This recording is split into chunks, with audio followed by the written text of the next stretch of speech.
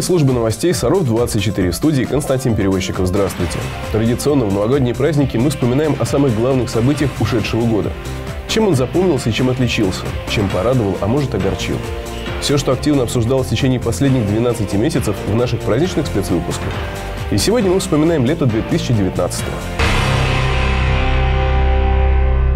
Патриарх Московский и всея Руси Кирилл посетил Саров и осветил главный храм Успенского собора Свято-Успенского мужского монастыря. Чин освящения глава РПЦ проводил вместе с 13 архиереями, в том числе и с митрополитом Нижегородским и Арзамасским Георгием. После этого патриарх вручил награды православной церкви за особый вклад в дело возрождения монастырей и храмов. Чин Великого Освящения Собора – знаковое событие для всех православных верующих. Десятилетия назад никто не верил в то, что на месте взорванного советской властью главного храма Саровского монастыря появится обновленный собор. Однако уже в 90-е годы прошлого века началось возрождение обители. А в августе 2016 года по благословению патриарха началось восстановление Успенского собора. Совсем еще недавно мы закладывали основание этого храма, и так быстро и в таком великолепии этот храм возведен. О чем это свидетельствует? Это свидетельствует о том, что очень многим людям храмы Божии нужны. Нужно восстановление исторической справедливости. Нужна правда Божия в жизни. Глава РПЦ напомнил о том времени, когда люди отвернулись от Бога, когда советские власти взрывали и сносили церкви. Однако, как считает патриарх, они давно миновали и уже никогда не вернутся, потому что народ восстановил свою веру. Также глава РПЦ обратился к противникам восстановления храмов. Дважды невозможно вступить в один и тот же исторический процесс. Сегодня другая страна, другая, другой народ. И потому, поэтому, пожалуйста, не мешайте нам по сути, вы никогда не сможете помешать. Но я бы сказал больше, себе не мешайте. Не закрывайте для себя путь к Богу. Также предстоятель вручил награды Русской Православной Церкви, в том числе ордена преподобного Сергия Радонежского третьей степени был удостоен директор ядерного центра ВНИЕФ Валентин Костюков. Восстановление Успенского собора – радостное и долгожданное событие для многих верующих, которые пришли на божественную литургию помолиться вместе с патриархом Кириллом. Вот очень радостно, что дождались. Он следующий храм восстанавливает. Это замечательно, я думаю. Как будто я только заново начала жить. Вот до какой степени, какой для меня сегодня день.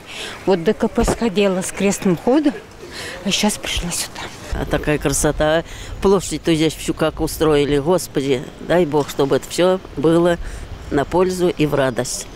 Пусть человек, может быть, в душе верит и не ходит в храм, но он все равно верит и хочет жить, чтобы жизнь была на земле ну, светлые. В дар Успенскому собору патриарх Кирилл передал образ Тихвинской иконы Божьей Матери. Во второе воскресенье августа в России отмечают День строителя. Традиционно в этот праздник вспоминают тех, кто вкладывает все силы в то, чтобы наши города развивались и с каждым годом становились все более красивыми и комфортными. Благодаря строителям преображается и Саров. Город меняется, и рядом с аутентичными старыми районами рождаются новые, современные. Саровская ривьера – жилой комплекс, объединивший достижения прогресса и создающий условия для комфортабельной жизни и отдыха. Многоэтажки в стиле хай-тек, зеленые газоны, декоративные деревья и дизайнерские лавочки. Близкое расположение лесопарка и реки, которые прекрасно подходят для прогулок, занятий спортом и проведения досуга. Этот кусочек Европы в сердце Сарова очень полюбился горожанам. Да, очень нравится в районе гулять, очень хочется даже приходить сюда. Здесь спокойно, тихо. Детям нравится, площадки такие замечательные. Очень красиво, ухоженно. А так просто прелесть. Очень красивый район. Приходим сюда отдыхать. Довольно-таки концептуально. Строение, ну и вообще рядом река. Отличный вид, я думаю, будет из окна тем, кто здесь живет. И площадки. Площадки э, хороши тем, что они огорожены забором, деткам будет безопасно, ну и вообще чистенько и симпатично. Нам очень нравится. Здесь, здесь красиво, уютно, очень современно. И для нашего города как свежая струя. Это же очень сильно отличается от того, что у нас до сих пор был построено. Удовольствие. Ну, не зря же люди сюда едут. Мы вот просто приехали прогуляться, подышать, посмотреть и получить удовольствие. Здесь красивая природа, здесь вообще в целом район отличается от того, что в нашем городе. А, здесь тихо достаточно, игровые площадки есть спортивные, детские, здесь хорошо время проводить. Я сюда очень часто прихожу, чтобы ну, просто остаться наедине с своими мыслями, почитать книгу, попить кофе, как сейчас, например. И мне здесь очень нравится.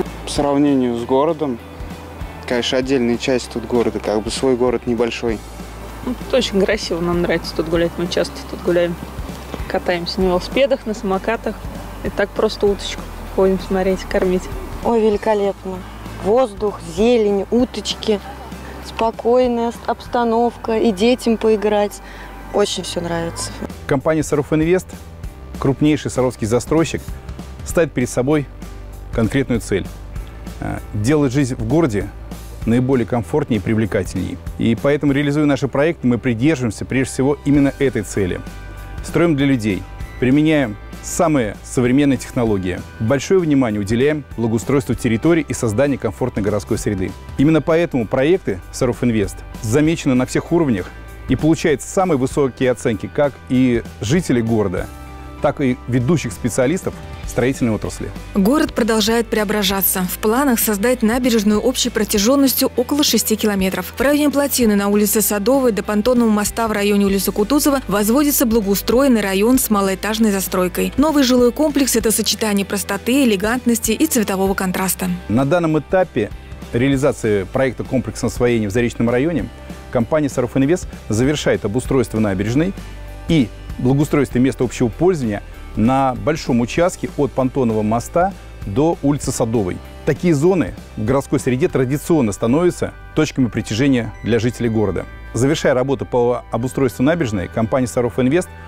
переходит к следующему этапу – это строительство малоэтажного и среднеэтажного жилья в Заречном районе. Впереди грандиозные планы и смелые проекты. Новый облик города – это заслуга многих людей – проектировщиков, снабженцев, дизайнеров, прорабов, архитекторов, инженеров и других специалистов, которые с огромной ответственностью подходят к своей работе на каждом из ее этапов.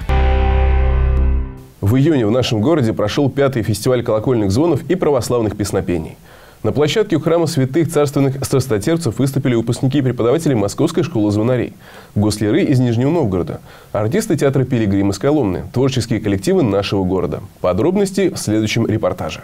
Фестиваль колокольных звонов прошел в Сарове уже в пятый раз. Впервые участников и гостей принимали на территории возле нового храма святых царственных страстотерпцев. У фестиваля нет какой-то определенной периодичности. Его проводят раз в несколько лет в конце весны, начале лета. В этот раз фестиваль приурочили к празднику Святой Троицы. Хотелось бы пожелать участникам фестиваля, чтобы это было запоминающее. Именно в каждом из нашем сердца отложилось то доброе, хорошее, чтобы вновь и вновь хотелось собираться, слушать эти прекрасные песнопения. Традиционно на фестиваль в Сарове приехали его постоянные участники, представители Московской школы звонарей во главе с Ильей Дроздихиным, которые поделились опытом с мастерами из других городов и показали слушателям всю глубину и красоту колокольного звона.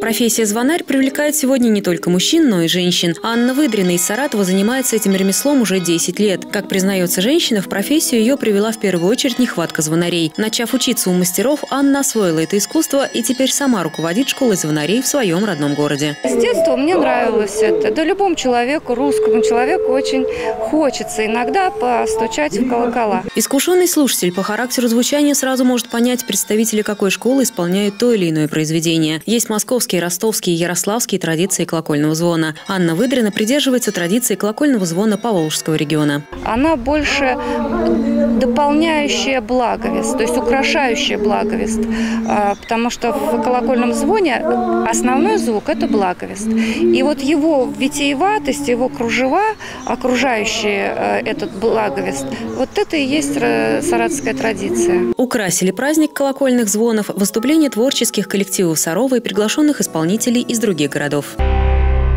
В последних числах августа всю область потрясло сообщение о том, что в Вознесенском районе потерялась Зарина Авгонова.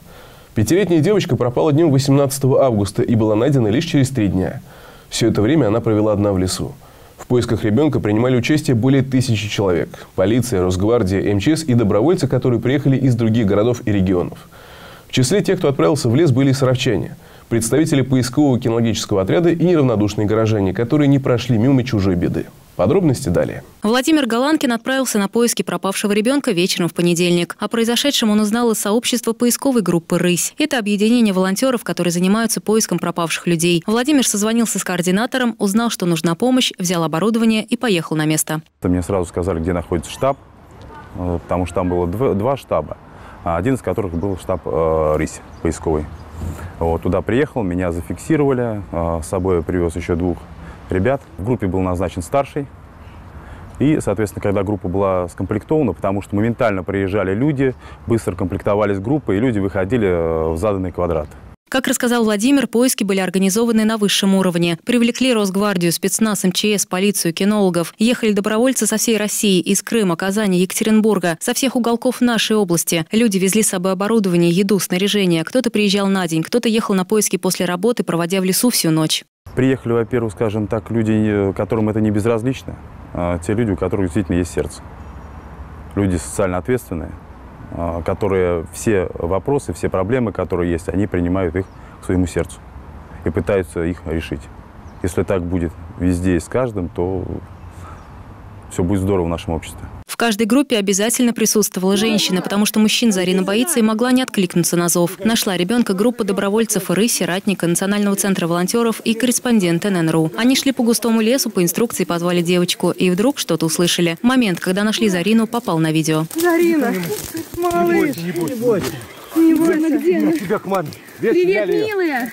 Привет, моя хорошая. Ура. Мы тебя спасли, моя Заветные слова «девочка найдена живой» стали огромной радостью не только для тех, кто принимал участие в поисках, но и для тысяч людей, которые с замиранием сердца следили за поисками малышки. Девочка доставлена в Нижний Новгород для дальнейшего обследования и лечения в Нижегородской детской областной клинической больнице. В августе 2019 года мы отмечали важную для нашей страны дату – 70 лет со дня испытания первого советского ядерного заряда РДС-1. В Сарове прошло ряд мероприятий, посвященных этому событию – в музее ядерного оружия «Рафиат горожанам представили документальный фильм Михаила Полонина «Бомба, которая спасла страну». Часть съемок проходила в Сарове при участии экспертов ядерного центра. При создании фильма также использовали кадры отечественной и зарубежной документалистики 1945-2000-х годов. Натурные съемки вниз Курчатовский институт и производственном объединении «Маяк». После бомбардировок американцами японских городов Хиросима и Нагасаки появился меморандум Объединенного разведывательного комитета США, где были обозначены города Советского Союза, цели для атомной бомбардировки. Москва, Горький, Куйбышев, Свердловск, Новосибирск. Это было страшное время, когда в огне ядерного пожара могла сгореть целая страна. Наша страна. Неимоверным напряжением сил наша страна сделала оружие возмездия, и планы агрессора так и остались на бумаге. К созданию фильма про первую ядерную бомбу автор, главный редактор телепрограммы «Страна Росатом» Михаил Полунин подошел со всей ответственностью. Большую помощь ему оказали сотрудники музея ядерного оружия «Рфят Свнеев». Он очень добросовестно создал группу экспертов, и они и он им звонил очень часто, и они ему давали советы по различным моментам, которые касались для него не совсем до конца ясными. И таким образом этот фильм госкорпорации «Росатом» был сделан. В основу фильма легли архивные записи с воспоминаниями очевидцев и документальные свидетельства подготовки и испытания ядерного заряда РДС-1, которое произошло 29 августа 1949 года. Это важнейшее событие в истории страны. Проект стал выдающимся достижением КБ-11, ныне РФЯЦВНЕФ, и всей отечественной атомной отрасли. Он сыграл решающую роль в судьбе послевоенного мира, ликвидировав атомную монополию США и положив начало созданию отечественного ядерного щита.